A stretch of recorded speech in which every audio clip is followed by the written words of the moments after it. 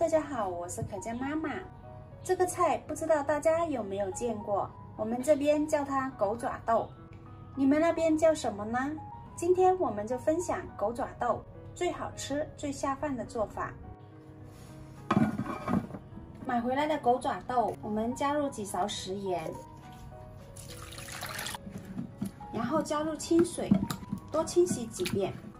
因为它这个狗爪豆表面是有一层特别细的绒毛，会藏有特别多的灰尘和杂质。食盐可以起到杀菌消毒的作用。像这样把狗爪豆抓洗干净。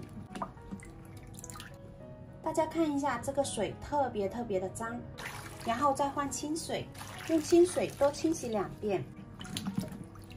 清洗干净的狗爪豆直接放入锅中，然后再加入清水。清水的量一定要没过狗爪豆，然后盖上盖子，用大火把狗爪豆煮熟。这会我们的狗爪豆已经煮了有二十分钟了，完全熟透了。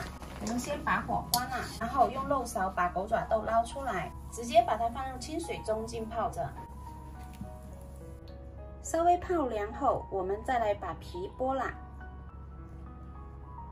这个时候，我们的狗爪豆是特别好剥皮的。如果喜欢口感好一点的，就不用剥皮也可以，像这样就可以啦。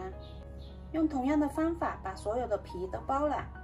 这种剥了皮的狗爪豆吃起来就比较软，比较容易入味。如果不剥皮的话，比较爽口好吃。像这样就全部剥好啦。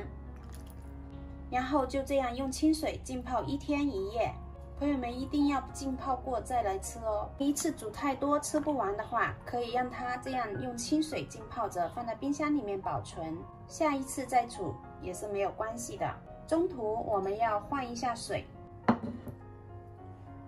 现在我们这些狗爪豆已经泡了一天一夜了，我们取适量的出来炒，把它切成斜刀片。切好装入盘中备用。接下来我们来切点泡椒，这个泡椒是我们上一次用啤酒泡的，特别的漂亮。再来切几瓣大蒜，把它切成蒜片就可以了。切好装入碗中备用。再来切两个青椒，先把籽去了。然后切成小块，切好装碗备用。接下来我们起锅烧油，油热后先把蒜片和小米椒下锅爆香，爆出香味后把狗爪豆倒进来，继续用大火翻炒，把里面的水分稍微的炒干，一定要多炒一会儿，把水分炒干了，吃起来比较香。现在我们大约炒了有三分钟左右，加入适量的食盐调味，再加入一点点白糖，代替鸡精提鲜，然后继续翻炒。这样炒出来的狗爪豆才甘香入味。这个时候我们把青椒加进来，青椒翻炒至断生，我们加入适量的蚝油，少许生抽。继续翻炒均匀，翻炒均匀后，像这样就可以出锅啦。